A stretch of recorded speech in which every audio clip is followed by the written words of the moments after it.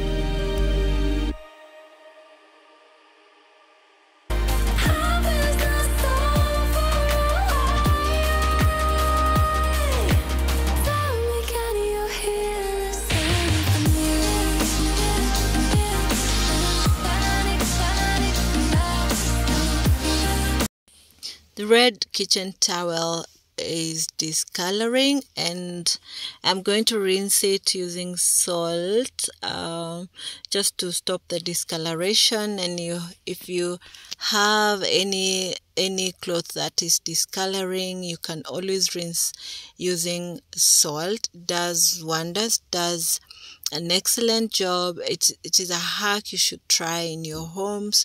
And I was taught that by my mom and it works perfectly well for me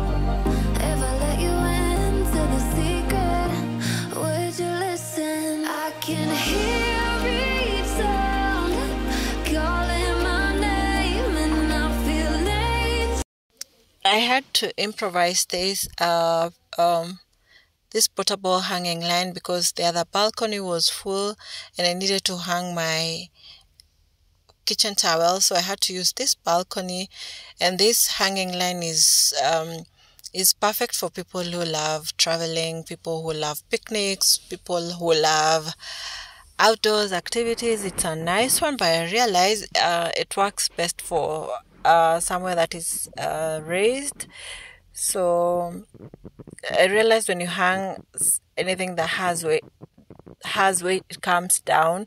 So uh, and this balcony is not very tall so I had struggles when hanging so I didn't hang all of them. So the rest I will transfer them to the other balcony but once I to tumeanua manguo zingine Every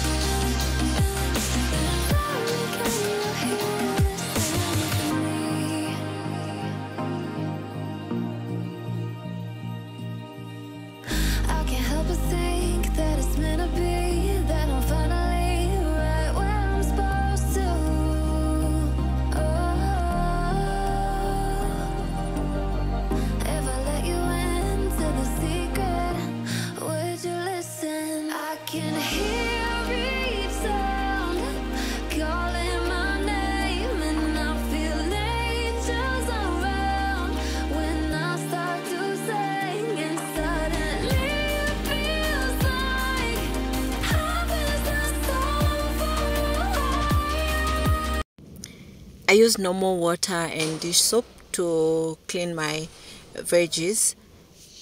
And thereafter I make sure that they are dried up so well. So because if you don't dry them well they get uh, they go bad real quick